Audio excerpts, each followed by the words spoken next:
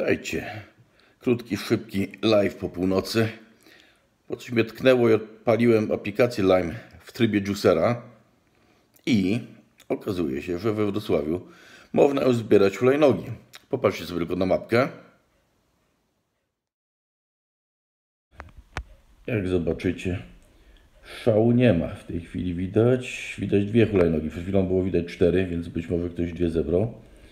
Ale co ciekawe, jak się popatrzy na te numery seryjne hulajnóg, jakieś dziwnie niskie. Nie wiem, czy oni tych nowych nie powinni z nowszymi numerami. No ale zobaczmy jeszcze, jak wygląda sytuacja może w Warszawie i w Poznaniu. Zoomujmy. Ło, w Warszawie jest to zbierać. Tylko przy tej stawce pewnie ludzie się nie kwapią za bardzo. Jak tam Poznań? No i Poznań też wygląda, że już można zbierać. No to czekamy, aż dowiozą nowe hulajnogi do Wrocławia. No z tym, że jak widzicie, stawka 12 zł brutto. Także szału nie ma. Przy 15 zł już szału nie było.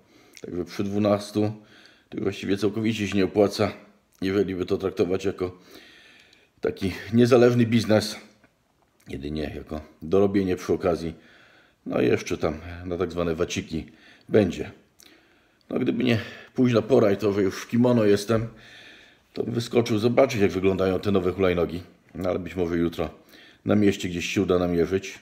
Jedyny problem jest, że widać to tylko w aplikacji Juicera, bo są wyróżnione te hulajnogi, które można zbierać nowego typu.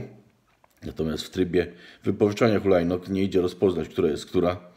Także chyba będę musiał sobie pozycję zapamiętać i spróbować je gdzieś po drodze zgarnąć, bo pewnie po 7 rano już zniknie opcja zbierania. No i będzie trzeba czekać znowu do 9 wieczorem. Także na dzisiaj to tyle. Subskrybujcie, lajkujcie, udostępniajcie i widzimy się ponownie wkrótce.